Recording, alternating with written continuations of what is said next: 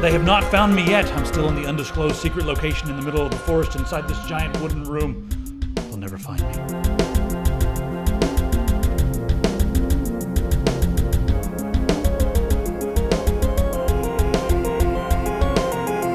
Giant wooden room that's slightly echoier than usual.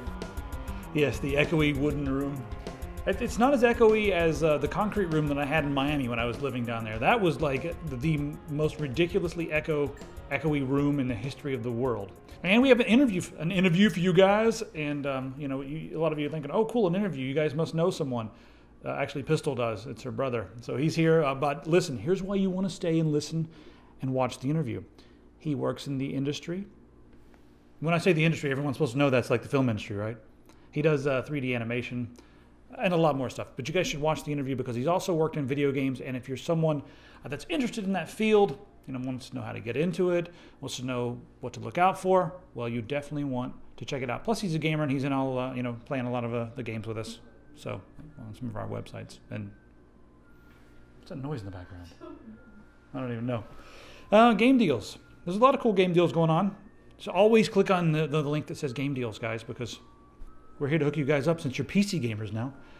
All right, let's get down to business with what's going on in the world. Oh, by the way, Vihendra is almost finished. I did like three new songs this week. Been inspired by the trees out here. Yeah, whatever. Um, let's start off by uh, mentioning the open source laptop. Now, this a long time ago. Uh, if you guys have looked at Bunny Studios, I'm sure you've seen this. But a long time ago, they announced that they were doing an open source laptop, and then it kind of went away, and nobody was really talking about it. Well, they they came back to life and wanted to make sure that everyone knew that they're still they're still going on. Uh, so the main thing that they changed was the uh, the hardware. The guy's a hardware hacker, and that's what he's sort of focusing on. So Wendell, you want to talk about what's going on with the uh, open source laptop quickly? Yeah, okay, so the open source laptop, it's okay. He dropped a bombshell in the article, which is crazy. It's open source. You know, a lot of people are like, yeah, let's put a Haswell in there and, you know, a really fast NVIDIA graphics chip. No, that's not what Bunny's doing. Yeah. This is strictly for hardware hackers. Now, the bombshell that he dropped is that there's a really fast field programmable gate array. Basically, an FPGA is a chip that lets you emulate other things, and they've already figured out how to emulate NAND flash. What that means is they can desolder a NAND flash chip and solder this thing on, which can pretend to be a NAND chip, but you can see what software is doing to read and write from the RAM chip. So that means, in terms of reverse engineering, like if they want to reverse engineer something, they've got an incredible tool to be able to do that. It'll also solder underneath a NAND flash chip, so you can have the NAND flash chip and the uh, debugger thing soldered in together, so the debugger thing can see exactly what's happening to the NAND flash in real time. This is this this part of the laptop is totally made for hardware hacking. So like think back to like the Xbox One or the Xbox 360. It's like oh you know how do we figure out how to hack the Xbox 360? You know they're soldering the BIOS chip on and blah blah blah. It's like well they could literally replace the NAND flash that contains the operating system for the device with one of these things like soldered underneath the chip. and then learn and see exactly how the operating system works. Hold on, we've got a cat throwing up over here. Hacking up a hairball, probably, but it's like it's extremely distracting. You're really talking about hardware, and I'm just seeing this cat just, you know. Anyway, I'll use that as a segue. The cat needs some NAND flash debugging. about, needs some debugging for sure. And it just laid down. It's like, oh, I'm, I'm finished throwing up. Let's just lay down. Right, anyway, ultra fast internet. It's expanding everywhere, and it's going to be coming to Vancouver soon. So, Linus, maybe you're going to be on the list. Does he live out in the woods? I don't know. I'll find out soon. But um, yeah, ultra fast internet is coming to uh, Vancouver. Forty-five to sixty-five dollars a month to get Goober, Google, Goober. I almost said Goober fiber, Goober fiber, Google fiber-like speeds. Um, that's pretty cool. And of course, we've talked about all this going on in Vermont as well because VTEL has a service, and they're offering uh, Google fiber-like speeds for 45 bucks a month. And let me just show you what they're doing in Vermont right now because uh, it, the place is crazy. They've, the, all these guys out there running around with horses. Uh, they've got a draft horse, and um, his name's Fred, and he's just out there. And his owner, Claude, is just walking him through the woods, and they are laying fiber through the middle of rural Vermont. That's pretty ridiculous. Well, So, not um, only that, I, yeah, I mean, in this article, this article talks about micro trenching, Mm-hmm. is what it calls it, It's like you know normally when they bury cable and you know they have to dig up a street. You know a lot of cities have underground cable. Even small towns anymore have a, a lot of underground cable, and it's a pain to pull cable through that. You know you have to dig up the street. You might have to lay new conduit, blah blah blah. But with fiber optic cable, advances in engineering techniques mean that the cable can be laid. And so what they did in Vancouver is actually just did a micro trench, which they were able to dig a trench in between the grout of the brickwork in the street and bury the cable 20 centimeters below the surface of the street and then just regrout it. And So they were done. And just that's right it. there on the surface, virtually. I mean, I mean, that's pretty cool. Yeah. And, and also, it Yeah, takes, you don't. You, takes fewer people to do the work. Like they were saying with the guy in Vermont, he's doing with his horse. He's doing the a job that normally it would be like 15 people working on it. So this is Yeah, going to make yeah, it in- extremely in- in- practical to get internet access or, or even you know really high speed internet access to remote regions.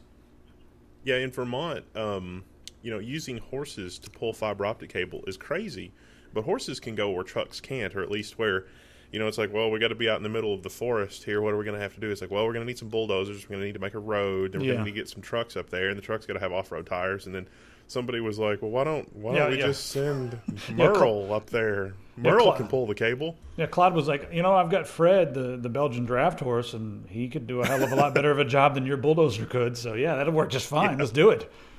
Put on my Yeah, I keep thinking of the, the the Time Warner guy who's like, "Man, it's going to cost a billion dollars," and it's like, "Yeah, if you're digging up the street for closing the street for two weeks, or you know, bulldozing half the forest, Yeah, yeah, Ti- it'll cost a billion Time Warner, dollars." Time Warner Cable, and Comcast and companies like that, they are thinking in terms of like exactly what you just said. They're thinking, thinking bulldozers. They're thinking making new roads, and they're also thinking about uh, infrastructure as far as uh, Cisco, like gigantic routers. They're not thinking about like.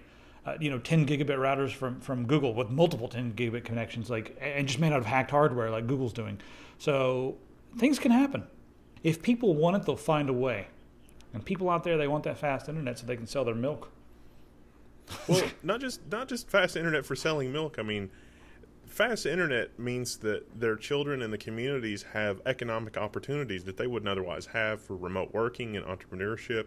You know, there's talk about um, this mass uh, influx of startup companies in places that are serviced by Google Fiber because they can get cheap internet. There's a guy that bought a house somewhere that uh, uh, Kansas City, I, th- I think it was in Kansas City, that Google Fiber services, and he divided the house into like four apartments, and it's like startup city. So these people are basically living and working in the house on their startup company, and he's having no problem renting that out. The world needs fast internet. We need it faster. We need it as fast as possible, as quickly as possible. All right. Um, so, a death this week Douglas C. Uh, Engelbart. He's the inventor of the mouse, and he died this week. If you guys want to check out um, some old videos that he was in, where he showcases the mouse and some of the uh, some of the oldest computers out there, back in uh, circa 1968, I believe it was. Yeah, there it is. You guys can check this out. It's pretty interesting, but um, I mean, think about what we would have without him. I mean, I don't know. Is touchscreen going to take over the mouse? I don't think so. No. Someone, you still got to play your FPS games, and flailing in front of a screen just is not cutting it, guys. I'm sorry eh, with with your Kinect and all that. This is not not going to replace my mouse. All right, you have anything to say about this before we move on? Well, it's you know it really puts the the computer revolution in perspective because you know a lot of other um, inventions, like everyday inventions in humanity, are hundreds or thousands of years old. A lot of a lot of the underpinnings of modern things, but you know here we have the mouse, the very earliest version of a mouse, and that guy was alive in our lifetime. So that just shows you how far and how fast technology moves. We are greatly accelerating, and I can't believe we're not on the. You know, we don't have colonies on Mars yet. Hmm. Library of Alexandria. too busy, too busy fighting over oil here. Yeah, fighting over oil, and then before that, the Library of Alexandria. Anybody? Oh yeah, it's like oh, oh you know here's a here's a you know the sum of all human knowledge. Burn it down, burn it down. God hates these books. Uh, we're moving right along here. So, I've been screaming and yelling that Best Buy was going to go under for years, and a lot of people keep telling me the Best Buy is too big to go under, and I'm like, yeah, they're too big, but they're extremely stupid. So uh, this article here on uh, on I Cringely is uh, very interesting. Now, uh, the gentleman here who writes for I Cringely, uh, you know, a lot of times Best Buy they blame Amazon, uh, and and they've brought in some new guys, and, and, and they're trying to do price matching. That's the solution, price matching. That's that's what we're going to do. Yeah, yeah, we can we can match Amazon.com. Uh, that way, people don't don't come to our website or come to our stores and, and touch things and then go to Amazon and buy them. We'll, we'll price match Amazon. And, but they're still they're still they're closing. They're pulling out of Europe. Their stores are closing everywhere. What's the real problem? What's making Best Buy go out of business? Well, this gentleman here, he had uh, the opportunity to visit, and he says it's because of their compartmentalized IT department and the fact that their IT doesn't seem to really care about their website. So that's what's killing Best Buy. And there's a quote in here. I'll, I'll scroll down just a little bit. Very interesting. One of the IT guys says that they know that the website sucks, but they don't want to improve the website because if they improve the website, people are not going to want to go to the stores. So by keeping the website sucky, it's kind of forcing people to go to the stores. And then he, he then he puts here, this is actually what they think. They actually think this. It's, I'm not making this up. There, there, that's what he said. Um, so yeah, obviously, when you have that old school mentality where you need to go to a brick and mortar store in order to to do something, uh, of course you're going to go out of business. It, it's all got to be uh, web, and the store should be just like the Apple stores. You know, Kane sent me uh, something about two or three days ago, and I f- forgot to bring up the article, but I'll, I'll insert it right here about the Apple stores. The Apple stores are not about sales. The Apple stores are about the uh, touching the products, making people feel like owners before they have the products, and building loyalty. Uh, no, no. Well, there was uh, something you should mention on the Best Buy thing. It's like Apple is the Apple Store is about the experience, but mm-hmm. Best Buy can't really figure out because they've got competing brands and all this other kind of stuff. But the other really crazy thing is that uh, you know it's like Apple's about the experience, but in fairness, Apple's web store sucks. You know, you're right. So, uh, I mean, people, people, you know, a lot of times, even if they don't buy it at the Apple Store, they'll buy it at a different website, or they'll buy it at, uh, you know, even at Best Buy. Best Buy has like a little Apple Store as well, but yeah, their website sites kind of sucks. It's there's only a few products on there, so I mean, people still use it, but yeah, I think Apple had the right idea with making it more about um, it's it's it's about indoctrination. So, yeah, Best Buy just needs to be driving people to their to their uh, website to, to buy things. I mean, wherever people spend money, that's where you guys should send them Best Buy. So, yeah. Moving right along here, the smartwatches are uh, showing up in Best Buy. What were you going to say? Oh, uh, if Best Buy had reasonable prices on technology, I don't think they would have any trouble selling it. yeah. And if they even had technology in the first place, they're kind of like, I don't know. yeah, we've got an Intel 80 gigabyte SSD. It's only $300. Mm, yes. Um, speaking of portable devices, Nokia has uh, confirmed that the 41 megapixel PureView phone is uh, confirmed for UK sales. A 41 megapixel camera on a phone. Uh, I'm curious to see how that's going to look because I mean, when, when I think 41 megapixels and that size, I'm thinking it's going to be grainy, and I'm thinking that you know, of course, it's going to be a crap lens. So I never really cared about the megapixels as much as I cared about the quality of the lens in front of it. And with a small device, it's always going to be a crappy lens. I've never owned a compact digital camera. I've never owned a tiny camera. All my stuff has been big because I want large professional lenses because I'm crazy like that. But well, it, t- it turns out with CMOS sensors that having a large sensor generally means less noise as well. Yeah, so with I a mean, tiny tiny you, sensor you, like this. Yeah, I hmm. mean the entropy catches up with you at that scale, so that's sort of a problem. Um, Gorilla, those guys at Gorilla, they're always working on new things. They've got a new uh, glass coming out that's supposed to be anti-glare, which means that you'll be able to go outside with your cell phone and not have to squint or not have to, you know, worry about your cell phone being completely almost invisible as far as the screen goes. And it's also also going to be antimicrobial. It's going to kill germs and viruses. Wipe your butt with this. Yeah. Can I make waffles with it? Can I set it to like waffle mode and then pour waffle batter on my phone and have a waffle? It does That'd have a waffle mode, and it will remove the germs from the batter. it sterilizes right. and yeah, that's awesome. All right, so this this teenager that was arrested for um, uh, the uh, League of Legends post where he was threatening, to, you know, he said he said he was going to kill someone's family, and then he said LOL JK, uh, whatever. Everyone's saying it's a Facebook post, but I'm not 98% sure that it's this was a League of Legends thing that happened. It started as a League of Legends thing, yeah. and then the media just simplified it to Facebook. But that's not exactly what it was. It was League of Legends. Anyway, he's getting beat up in prison right now. So I'm not even going to comment on how ridiculous it is that he's being held for saying something that's pretty offensive and asinine, but nevertheless, that's just. I mean, that's, if you've ever been on Xbox Live, someone has threatened your family. Has, there, has anybody ever threatened your family, Wendell? On Xbox oh, Live? I'm sure. I mean, Yeah, well, I, well, yeah, Xbox Live. I don't even just. You I think I tried that once, Okay, like okay, ten years ago, and it was like, ugh. Uh, you're playing Quake Live and you've just killed some guy like nine times in a row, or even Unreal Tournament back in the day. Did I mean? Don't you remember someone like you killed them like 15 times and they're like, wow, and they, they throw like 16 ethnic slurs just to make sure that they get exactly whatever you are, uh, which in our case is Yeah. like you know uh, Sasquatch. But um, League of Legends is like the Xbox Live of PC. Pistol just said League of Legends is the Xbox Live of PC. so yeah, that makes total sense. But death threats are out there. But anyway, this kid is getting beat up in prison. I, you know what I'm going to say? Well- Society probably needed to beat this kid up, but he did- probably didn't need the prison. It, What were you he gonna say about probably, yeah. I mean, it, it it doesn't make sense because it's like you know this this zero tolerance. This isn't really a zero tolerance thing, but there's no excuse for people along the way not exercising common sense. No, everyone refuses to think for themselves anymore. And it's like, oh, let's follow the rules, and it's like, well. The rules are, are guideposts. You know, they're not they're not necessarily hard and fast. And as soon as you have hard and fast rules, there's going to be an exception. And it, it is a real tragedy that this kid's been in prison for months now. Yeah, and they've got him on suicide watch. Um, I mean, I really think society is going in the wrong direction when we have junk like this happening, and it happens on a regular basis. Not to mention the harassment from both women and men. Let me just go ahead and say that right now, because both are harassed. But you know, we need to correct those things. But this whole like policing what people say and throwing them in prison for for jokes that they say online, even if they're you know off color and in bad taste, I, I don't know what to do with it. But you can't be this punished for immaturity while other kinds of immaturity are not as severely punished. Like, right. you know, I it's just it's insane. You know what we need? We need we need a return of the old-fashioned ass whooping.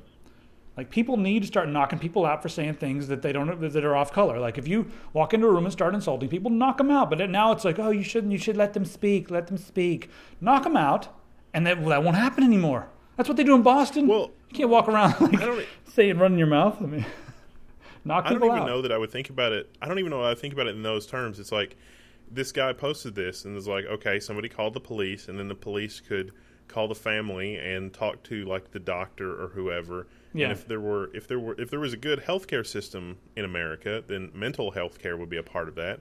And chances are, by the time you you know you're 19, school counselor or you know a psychologist or whatever. And it's like, well, you know, talk to the school counselor and see if they think this is the thing. Talk to you know somebody and see if they think this is legit. Because surely to God, somebody knows the kid and knows you know, but that would require effort. And this is like, oh, let's put him in jail. Don't even think about it. Let's put him in jail. That's easy. It doesn't require thought or work.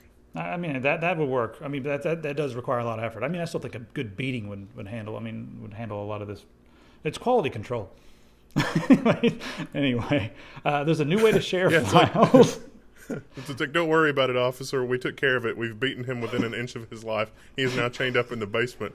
oh, all right. Well, I guess he fair enough. He, he learned his lesson. Yeah, left hook ta- taught him everything he needs to know. Everything's good. He'll, he'll grow up and he won't be an asshole. All right. That probably would work too. It would, it would work better than this. This guy's going to get out and he's scarred for life. Yeah. All right, now it's time to talk to Mike. You guys need to watch this.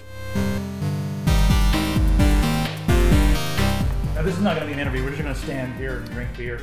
And we're sitting. We're, how do we do this? Now, I know there's a lot of animators on the website. There's a lot of budding people who want to get into the industry out there. A lot of young guys who want to do a lot of things. So, we had the decency to bring somebody here from California. This is Mike. What's up, man? Hey, So, uh, what do you do? um, I'm a visual effects artist, and uh, I do pretty much anything under the sun within that realm. But uh, that's it. I've never heard of you. What have you worked on? I've worked on more things than you could imagine. All right, we'll start off with video games because we have a lot of gamers yeah, on the website. So, what video games have you worked on? What have you done? I've done. I've worked on uh, Dead Space Two, I think it was. Um, Call of Duty, Black Ops. Um, what do you do for this? Like, Uh, for video games, I did. A, I did mostly mocap. I did that for about a year and a half, two years. so they send you like the video footage of the actors with all the little balls on them moving around. Uh, we just get like we just get nasty data. Oh, so like- you don't get to see the people with the look like Christmas trees. Well, I worked at this. I worked at a studio that had that. Like we Yeah. could look out the window and see, you know, all and the they action give you the raw data from that. Yeah, we get all the nasty data, so you get like this face that kind of looks like a face, but there's like balls flying around. Is you that like an industry term, like the nasty data? Yeah, it's just bad. It's just like, like, hey, give us the nasty. You guys say like, give us the nasty because I worked on a few films and they call they have a foreign name for everything. Like a, a extension cord's a stinger, and like every, everything's something weird. You know, like you can't just Um, like, give me two moo cakes, a stinger, and a bag of ha. Well- like, what the fuck? Is... I don't I don't know. I mean, the place I worked actually the be- the data would you know to most people would look pretty bad. Yeah. But for what I was working on, it was really nice. Like it looks like crap, but But I mean, in- Comparatively? in, the industry, is that what you guys? Is that your buzzword for it? Like nasty. Yeah. I guess that's really just my. Oh, I don't know. I just, I, I was I'm just like, using oh, nasty because I it thought works. we were like getting into the lingo here. I was all excited. Like, hey, you were dropping lingo. No, I think that's more for like producers. We're just we're just nerds. Oh, okay. So you guys don't have all. You guys are not pretentious, is what you're saying. You guys are just cool. you can find the same lingo on the internet probably. Awesome. all right. So anyway, back to like you get the nasties. Then what do you do with them? Then we just clean them up, and then they they uh, they target them. They call it, whereas they you set it up in a rig so that it actually like deforms characters properly and stuff like that. So All right. Well, what uh, TV shows, movies do you work on? What are some big ones? Just that people would people would know out there. um, uh, Falling Skies, Once Upon a Time for TV, I've never heard uh. True Blood, True Blood. Um, what else? Magic City. That's a new one coming out soon on Showtime, I think. Um, it- know, just randomness. Yeah. What do you usually do for those? Is it similar type stuff or? Um, mostly integration. I do mostly integration for stuff like that, which is an industry term for like recreating what happens behind the camera, but in 3D, so that um, when it goes down the pipeline, um, the rest of the artists have like everything set up for them. They can Right. just be like, "Oh, we're putting, you know, for example, a bone sticking out of an arm." We have we have the camera moving around properly. We have the woman's arm, and we've got we've got even some placeholder geometry. So you're almost like keyframing it. Yeah, it's, what do yeah, they- what do they it's, call that? It's, it's animation. It's called it's called integration. Yeah. It's it's called it's it's mostly camera tracking and match moving. Uh, Now, now, how did you get into this? Did you go to school or? yeah, I went to school. I went to school for two years, and uh, after that, kind of didn't really find anything on the East Coast, and then had an opportunity to go to um, California. Mm-hmm. Uh, but that was after uh, the stock market crashed. I actually had an animation job um, before that in the Midwest, but the, the the stock market crashed, and we basically didn't have work for like I don't know. We were we were nonstop work for like a year and a half, and then six months of just nothing, and then there was there was no job. I was basically laid off. I didn't even like. I remember when the stock market. I think it was hitchhiking around the country. I didn't even realize it. That everyone Yeah. like, until I got back home and I was like, "Where's all the jobs?" Yeah, it was pretty bad. Yeah. I, I, I couldn't even believe like it hit me. Like Yeah. it was just it didn't even really seem related at all. Yeah. But like everyone was like, we're not spending money, so. So how did you get like? Was there like a door that opened for you in Los Angeles, or how, how did how did you find? Uh, it? my brother like- lives in San Diego, Yeah. so I stayed with him, and then um, I got an internship in Los Angeles, which I took over a, a Microsoft job, and because you know I wanted to do art over anything, I had the opportunity, even if it was unpaid.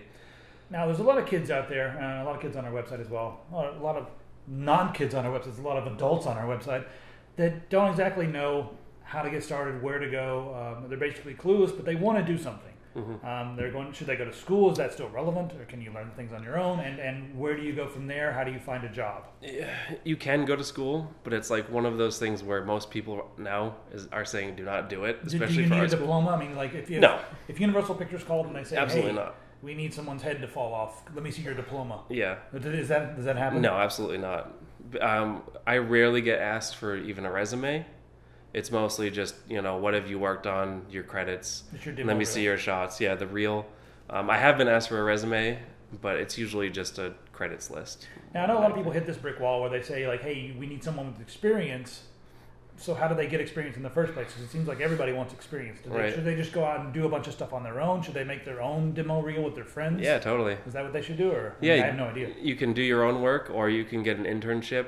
You look around for internships, but I mean that's a whole nother.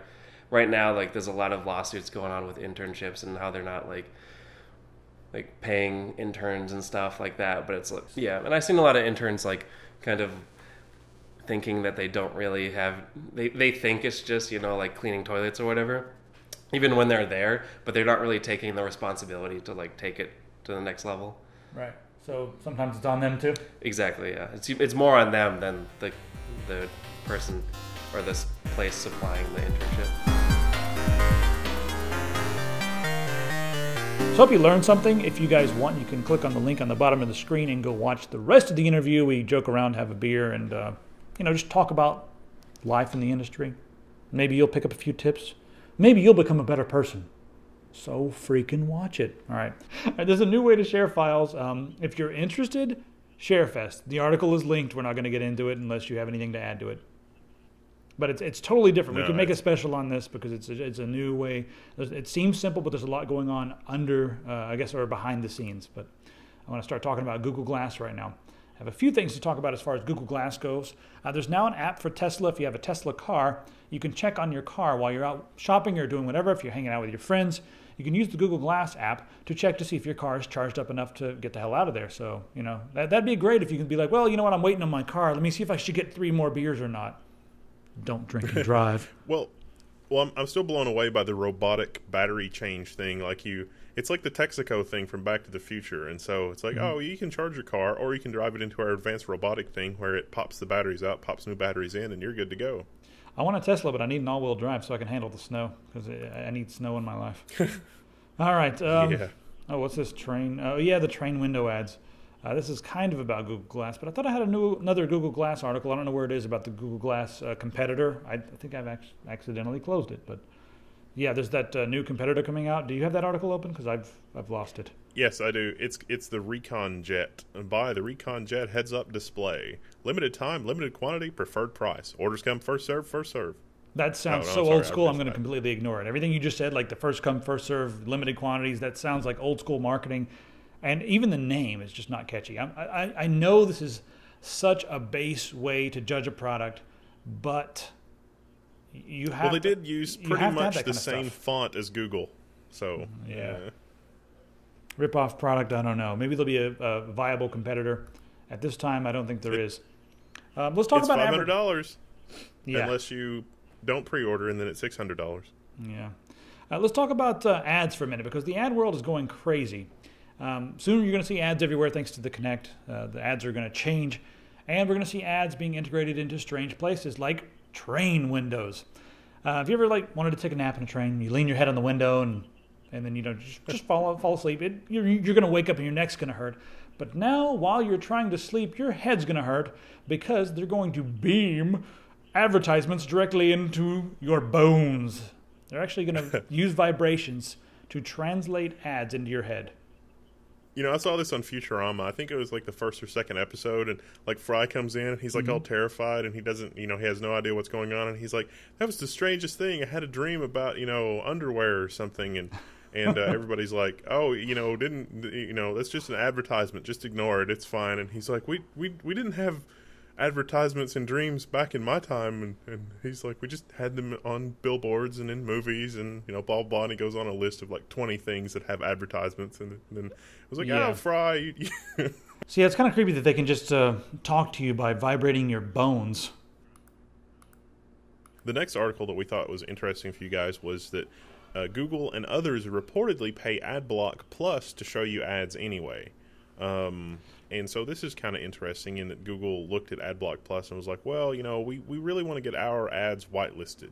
Yeah, and what, what the guys at you know, AdBlock are saying is it's money. essentially a way.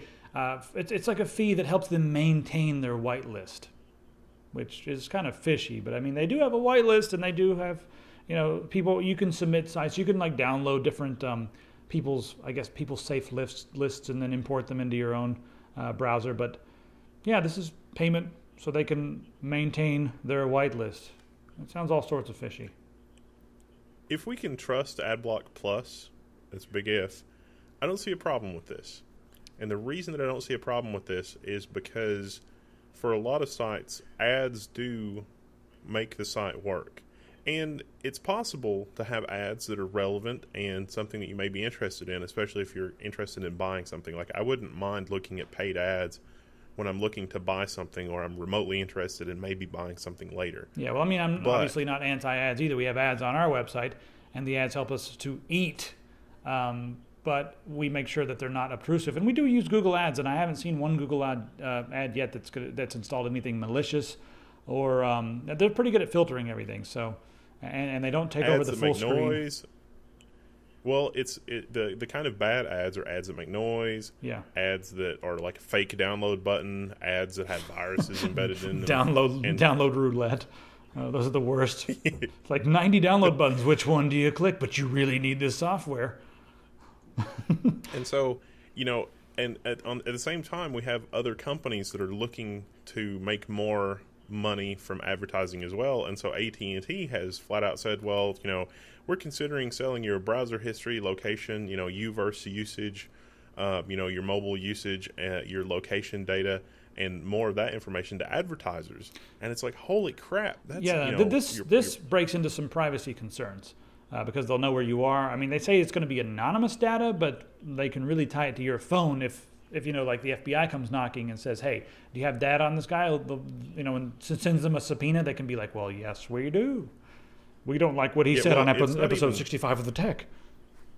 it's not even that. I mean, there's the the researchers have shown that that large enough data sets of quote unquote anonymized data, it really isn't all that anonymous because if you have a couple of things in that data set, uh, you know, a huge data set with millions of data points, Yeah. chances are a few of those data sets or just the pattern in that data set can still tie you back to an individual.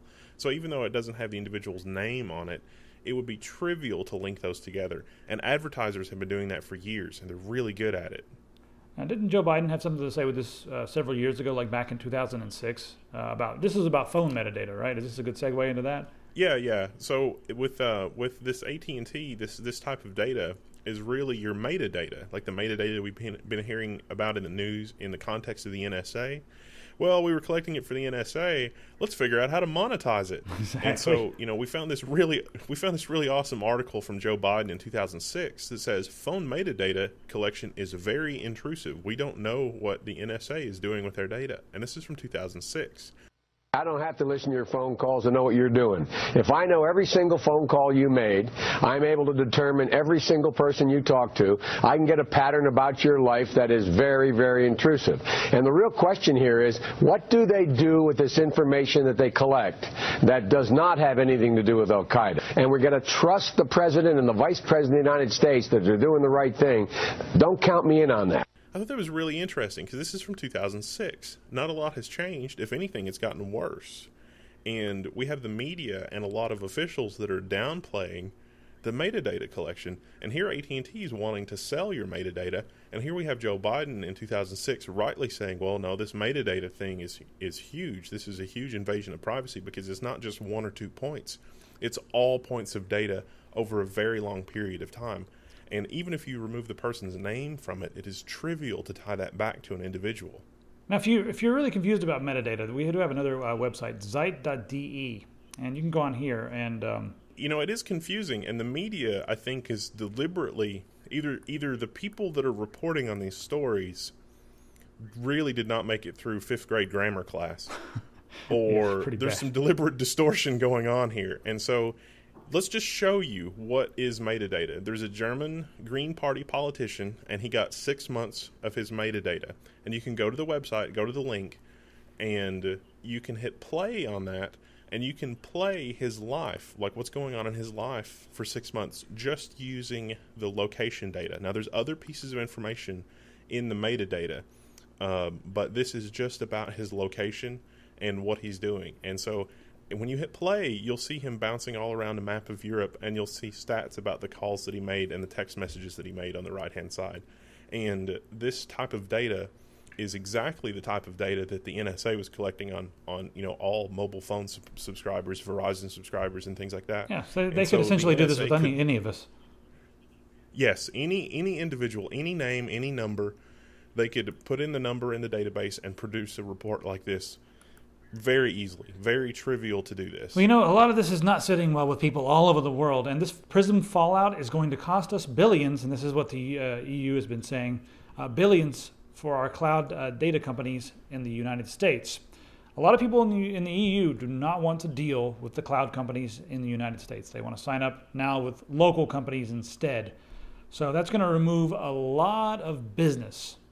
And um, Not only that, yeah, go ahead. but the EU voted to suspend data sharing, and that includes Yep. flight, like passenger flight data. So people that are flying to the United States, the U.S. used to have their credit card numbers and the, the credit card number they used to pay, and other data like that in this vast database. None of that is being is is going to be shared anymore. The E- the EU voted by a significant margin not to share that kind of data anymore. 483 voted for, 98 against, and 65 abstained. So a huge um, victory. So they really don't trust the United States anymore, and that's that's got me worried as a, as a, as a citizen of the United States. I'm pretty worried about that. I also want to bring this up. France. Um, it also came out that France is also keeping internet and metadata on its citizen, citizens or scooping it up. So it's like they've got their own sort of prism thing going on, uh, their own NSA, NSA style thing going on over there in France. So as more develops with that, uh, we'll, we'll talk about it because we're not just about the United States, of course. We're, we're people of the world around here. I said that with a southern accent.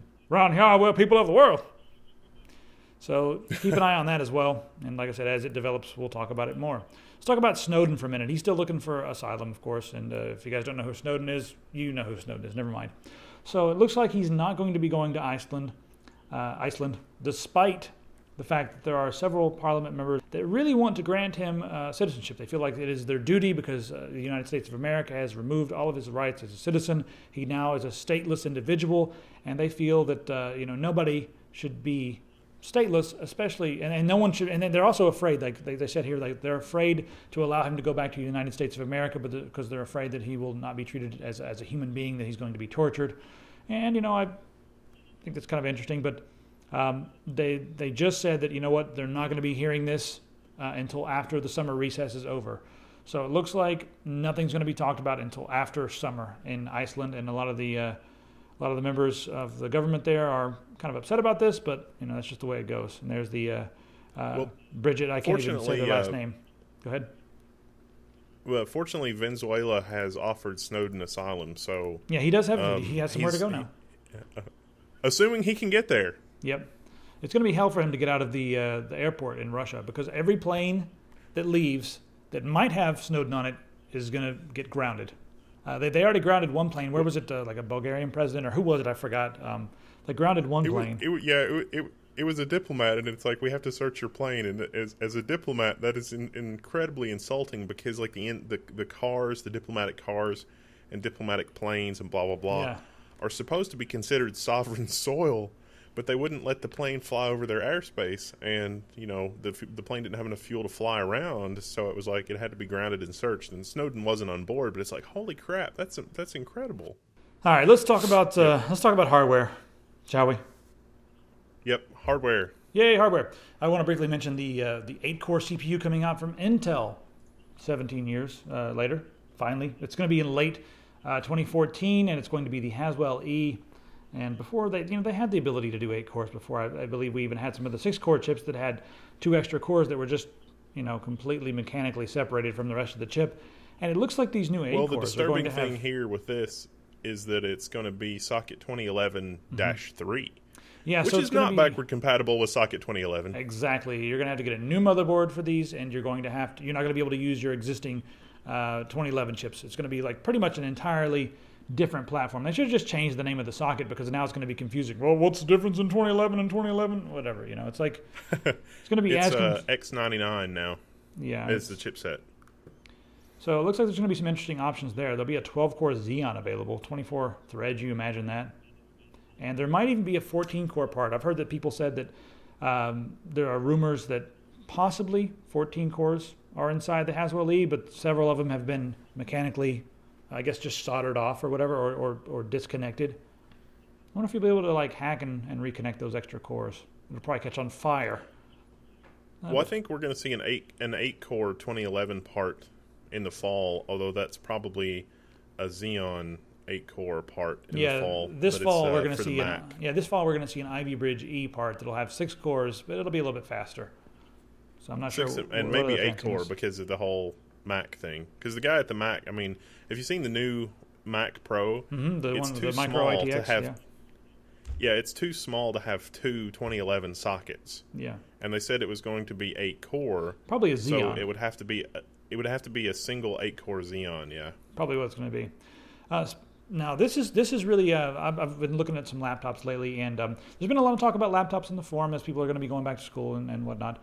But I want you guys to take a look at the AMD uh, APU based laptops, and especially the ones from MSI with the 8970. If you're looking for a new laptop, those things are going to have a ridiculous amount of power. Now, first off, the quad core is extremely fast, but it's not quite as fast as the Haswell parts you're going to see out there, or even some of the Ivy Bridge parts. But when you're playing games, it's a true quad core, and uh, you guys can grab one with like an 8970, and it's several hundred dollars less than the Intel counterparts. Plus, the APUs have OpenCL. Plus, the 8970 has OpenCL. So if you're doing video editing or rendering, there are great ways to go. Now, I know OpenCL does not support Blender yet, and I don't think it supports the new version of After Effects, but it does support Premiere uh, and it does support Photoshop and a lot of those programs. So those these laptops for around 1200 bucks are going to absolutely fly. So if you're looking for a laptop, uh, this is a very good way to go. And I'm probably going to be upgrading to one of these myself very soon, so I'll let you know how it is. I'm really looking forward to playing with one of these. We need to call up MSI like right now. I don't want a 17 inch though. I want a 15 inch. But you know, you guys can get whatever you want. These are like true 15 inch with all the pixels. Got to be Yes. 1920 by 1080 or greater. Yeah, most of these are 1920 by 1080, but they're 17 inch. I think they've got a couple 15 inch as well. Uh, this one here, the uh, GX770 uh, 3BE 007 US, 32 gigabytes of RAM, ridiculous, and 1.75 gigabytes of uh, terabytes of hard drive space, gigabytes, yeah. So these things are quite ridiculous. Um, also, we're starting to see some 4K monitors and TVs pop up. We've got the Asus PQ 321Q, and that's a 4K monitor. It's only $3,499, but I, God, I really want one of those. 140 uh, pixels per inch. It's quite nice. You won't even need anti-aliasing if you're running this thing because, I mean, the pixel density is such that the filters are going to be almost irrelevant at that point. Yeah, Seiki has a 50-inch digital um, 4K TV. It's 120 hertz, but it can't handle 120 frames per second. So it's quite a bit less than that. I think it may be 30 or maybe even 60, but um, I think it's 30 at Yeah. the full 4K and 120 at 1080. So yeah, if you're doing 1080, you can get 120. So that's not bad. I wonder how this looks. Uh, there's some pretty good deals on this thing around floating around on the internet. Isn't that the one that Ryan at PC Perspective had? Does he have one of these? Yes, this is the one. Yeah, these are pretty cool. So we're seeing 4Ks floating around out there. Might be time to start looking at them, and they're they're so cheap. At least that one is. We've also got some Richland APUs to play with. We've got a lot of a lot of hardware coming in. There's going to be a ton of boxes waiting on me when I get back. It's like I'm going to come back and be like, oh my god, I can't even get to my office because all the boxes. Uh, science. Ready to talk about science? Yep. Norway, they're testing out Thor Energy. That's funny, Thor Energy. They're testing out their thorium uh, nuclear reactors, and uh, this could be cleaner, safer, and waste-free. And it's nuclear. Nuclear. Well, there's How did- how did- what's three kinds of Nuclear? thorium reactors. yeah, Nuclear. nuclear. Um, is that what he said? Yeah, yeah. Uh, but this is the this is the worst kind of thorium reactor. It's a retrofit of an existing uranium reactor. Oh, okay. It's still it's good. It's a step in the right direction. It's not a true thorium reactor. So, but if so better than uranium, online, but not this- not as good as a custom thorium reactor. Yeah, hopefully what'll happen is that is that it'll get worked out at this uh, Norway location, and then the, Japanese plants will upgrade to thorium as well. And then at that point, somebody will probably commission a full scale thorium reactor that's one of the the more efficient designs that's not backward compatible with uranium. We'll never have thorium reactors here because number one, you can't make bombs out of it. Number two, there's too many hippies that don't understand thorium that hate it because it's something they don't understand. It's cleaner Yeah, I really than any of the I hippie really wish the science education was higher so that people would look at this and really understand that well, you know, this is a this the these alternative thorium designs are incredibly good, incredibly safe, better for the planet, virtually no waste. It's really incredible. If I was on their marketing team, I would say, you know what, guys, just say thorium. There's no reason to say nuclear. Just thorium. Hey, we got a thorium power plant. Oh, we like thorium. That sounds cool. As soon as you say nuclear, people freak out and they're like, oh no, rabbits are going to die. No, they're not. It's so clean. It's waste free. It's it's good energy. Anyway, moving on. Or or un, thorium uncold fusion with thorium or you know some play on cold fusion and because people are like cold fusion's where we need to be and it's like yes you must capitalize on that by slightly lying about the technology and thus was born marketing just to omit, uh, you know, it's a, it's only an equivocation, which is a pretty bad form of lying. But yeah, um, the space off the SpaceX Grasshopper launch was filmed. Uh, you know, um, I saw a tweet from this. Uh, who was it? Uh, the guy, the the from uh, Elon Musk. He tweeted this, and it was pretty cool. It looks like it's uh, running in slow motion because it shoots up and then it lands perfectly in the same spot. So you guys can check that out. It's pretty interesting. Um, the technology that SpaceX is using to to land a rocket. But uh, I, I don't have much to say about it other than the fact that you guys should watch it. Like right now, stop what you're doing, stop this video. Why are you watching this crap? Anyway, talk about games. Um, did you ever play Realms of Arcania back in the day? Old school RPGs from like the mid 90s. I haven't played any recently. They were like DOS games. I loved these games. Anyway, they're bringing back a remake of the first. We're talking like cheesy DOS graphics. And uh, this is going to be a hardcore RPG. Uh, when you, you know, it'll be first person, but when you go into combat, it changes to uh, turn-based strategy, like sort of a top-down view, and you have multiple characters. It's a lot of fun, and it, if it's anything like the original, it'll be decently difficult. So that that's fun. If you want something newer, the Elder Scrolls Online will be coming out soon, and uh, there's a new trailer or a new, I guess, talk with the developer here, um, and they show a quick glimpse of the first-person camera. So for all of us worried about you know Elder Scrolls without FPS or first-person camera, FPS without first person, well, we don't have to worry about that anymore. It's going to be there. I'm not sure if it's going to be any good, and I'm not even sure if I'm going to play it. Um, a lot of you guys out there who love Minecraft should check out the new procedurally generated sandbox RPG called Cube World. Uh, when I first looked at this, I immediately thought, oh, this is a cheesy, you know, another Minecraft ripoff, whatever. But it looks pretty cool. After watching the uh, the trailer, I kind of want to play this. It's in alpha right now. You guys can try it out, you know, and and see if you like it. But it looks like Minecraft plus a bunch of other things and true shaders. Actually has shadows, so that looks pretty interesting. Maybe we'll end up with a server of that. Who knows? I know we're gonna have a server of um, Rise of the Triad. If you guys do not have Rise of the Triad yet, I know I've been tweeting about this. Go get it. It's on pre-order. I condone it because I've already played it and it's fun as hell. It's like the the new version of Unreal Tournament or whatever. It's like the fast-paced shooter of this generation. It's going to be a lot of fun. I don't know. Yeah, we'll be playing a lot of Rise of the Triad. There's a lot of people on our forum that are always looking for Zelda-style games. Well, there's a pretty cartoony, interesting Zelda-esque, they're calling it adventure called um, Ittle Dew. I guess that's what it's called. Ittle Dew. Anyway, you play a, uh, a female uh, character, and you've got like a flying fox as your sidekick that looks kind of like Navi, and she looks kind of like Link with the shaggy blonde hair and everything. And it's just kind of an irreverent, fun game that completely rips off Zelda, but doesn't care and makes fun of itself while it's doing it. But it's like the most blatant ripoff of Zelda I think I've ever seen. But it could be a little bit of fun, and people are saying that it's fun, so you guys can go check that out right now if you want as well. Is this on Good It- Old it's a Games yet? rip. It, it, it's a ripoff, but it's self-referential humor is the thing that makes it interesting. Yeah, So, tongue, tongue in cheek, It- cheek ripoff. yeah. Yeah. That's pretty much it, everybody. The end of the things. I'll be back in the regular studio next week. If you're lucky. And with that will come the outpouring flood of videos, probably like 20 a day. Yeah, we outlined about, uh, oh, 50, 60 videos that some of them we've shot like half of them. Say about 30 or 40 of them we've done like some shooting on, but it's about time to hire another editor, I think. It's, it's about that time. Anyway, so look for about a gazillion videos coming soon. Look for us to be back. Look for me to get a haircut. And, uh, I don't know, that's the end of the video. Just click subscribe and, and, and go do something productive. Bye.